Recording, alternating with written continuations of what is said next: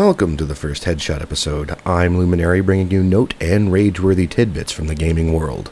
There are plenty of articles out there in the gaming industry and the gaming world that make you want to rage and throw stuff and post nasty things. And this article I'm about to tell you about by Frank Cifaldi is not one of them. It has to deal with a study done with the folks with the lazy eye condition at the University of California in Berkeley.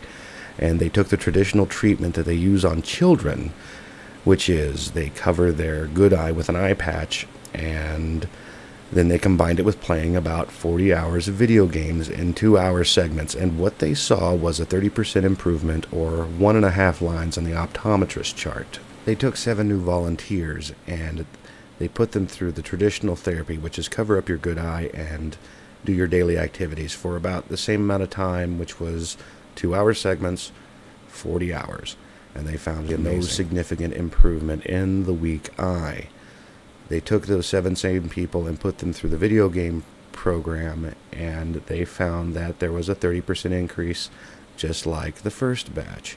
And that finding right there is absolutely amazing.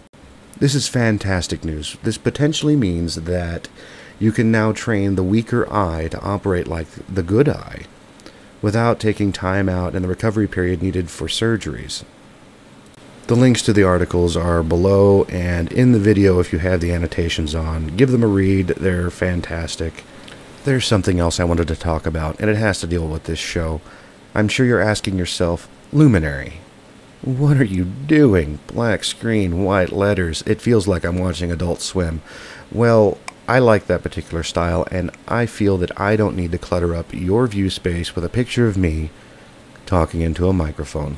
So, what does this mean? This means that I can utilize your viewport to bring you links, flavor text, contrasting text, pictures, videos, whatever I find that I think is necessary, I can post in the viewport without me ever having to show my face.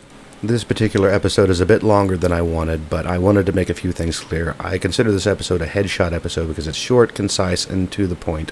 And if I find something that makes me rage, or if it's really cool, I will put it here in a headshot episode.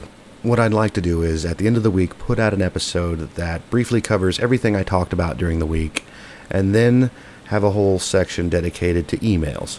I would love to see emails from you guys, and I really don't care if it's a troll or if it is constructive criticism or if it's telling me how great I am and with a question.